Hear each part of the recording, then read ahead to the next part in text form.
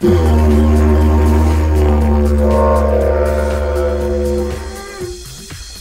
that's right, y'all. Irix guy here. And as you can see, I got my cotton glove on. You're probably wondering why. So let me reach down here in this dirt. And I'm going to pull me out a sack. And you probably would not believe what's in here. But it's some coins. And I got my glove on. And we're about to go to my fine studio and see what we got. Here we go.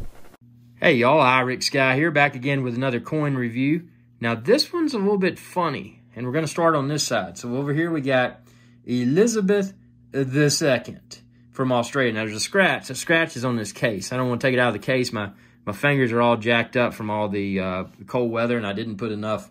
I use uh, I use a special lotion for my hands to keep them uh, keep them nice, and I ran out of that lotion because of supply chain issues, so I got cracked skin. So I got cracked fingernails too, so it's hard to open this up.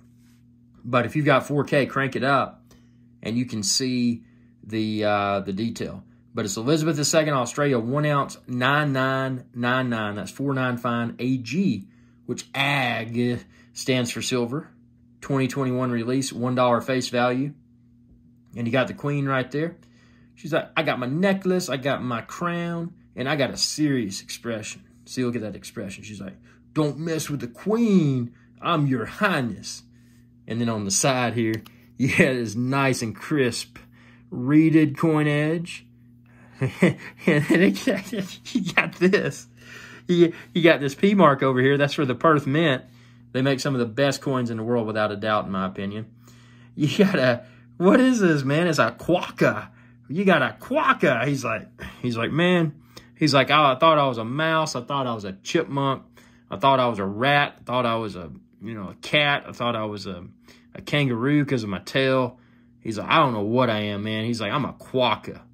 So the queen's like, hey, and she's talking to her to her staff. She's like, go get the double R. I want to go to the outback. I want to go see some quokkas. So the queen goes, hops in the double R. She goes out in the outback and she goes quokka, quokka sighting. Not not hunting, you know, nothing violent. She's just going out and she's looking at these quokkas. She's like, can we find quokkas? So she goes out in the outback and she finds these things. And, and it's the whole thing is, what is a quokka? You know, it's not a kangaroo. It's not a rat. It's not a mouse. It's not a chipmunk. It's not a squirrel. It's just this mysterious animal. And you can see there in the detail, you got a little lizard or something. So even the lizard's like, man, what is this thing? You know, I've never seen that. I've never seen a quokka. I've never heard of a quokka. But when I was looking at coins, I saw the quokka coin and I said, I got to get the quokka coin, man. I said, I'll be missing out if I don't get the quokka coin. So there you have it. You got the two quokkas. You got the two butterflies. You got the one lizard. You got some plants around. Wonder what quokkas eat. Do you know what a quokka's diet is? Comment below and and and uh, educate the world, man. I mean, this is this is quokka quokka quokka quokka quokka quokka. if these things could talk, man, which I'm sure they do. But have you ever talked to a quokka? Have you ever found a quokka? Tell me your quokka story below.